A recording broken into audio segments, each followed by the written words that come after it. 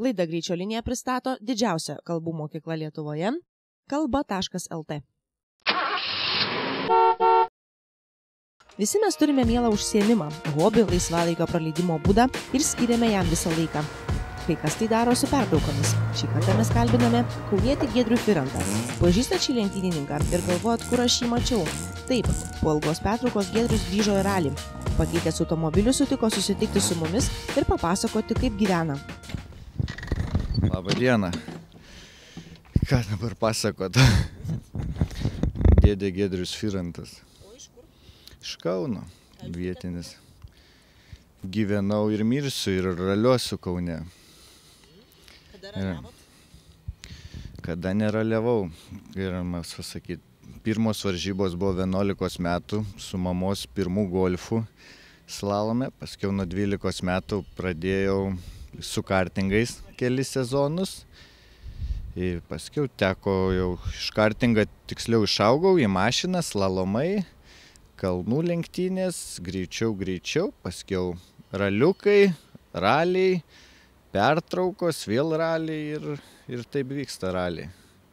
Ir vyks prieš tai dabar buvo prieš 28 metų sezonas toks beveik nesėkmingas, turėjau ką pamastyti, iš ko pasimokyti ir dabar bandysiu viską atsirevanšuoti. Lenktynininkas mano, kad grįžus po pertraukos geriausia nelinksminti ralio fanų, o rinkti savo ir komandai taškus. Po poros metų pertraukos be abejo. Tikslas yra dabar pravažiuoti sezoną iki finišo.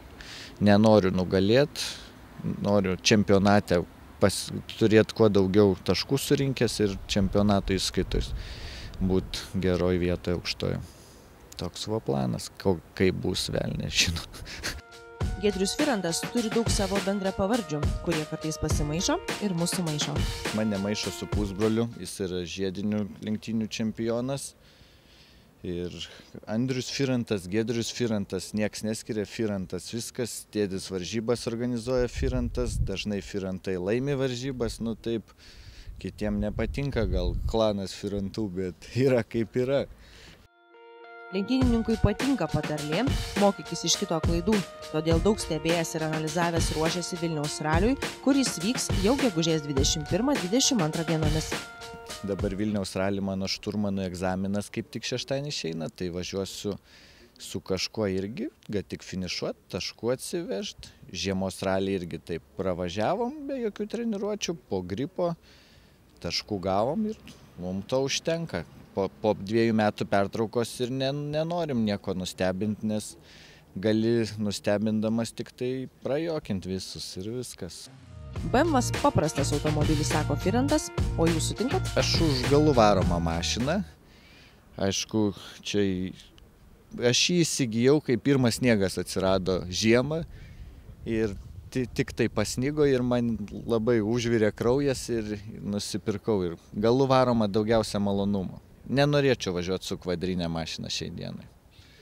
Viskas, mokintis, mokintis dar yra kur labai daug, kaifo daug ir viskas. Ir kas, kad yra apsivertus bembas labai paprasta, nuvažiavai į taivaniškų dalių parduotuvę už nedaug litų, viską pas biliekininką ir vėl naujas bembas. Gedrius paprastas, nereikia jam įspūdingo garažo su įspūdingomis signalizacijos sistemomis, nes lenktynininkas žino, kad nepaprasta automobilį nepaprasta ir išvairuoti. Išlaužus, kad ir tas tris spinas, vagis, rakeiktų mane pamatė vamzdžių privirintą kėbulą kažkokį aplankstytą ir viskas. Nu, manau, jie ant manęs piktų nešan jų. Nei jie užkurtų, nei spinelės rastų, kad jos iš viso nėra ir, ir nežinau, ką jie čia padarytų.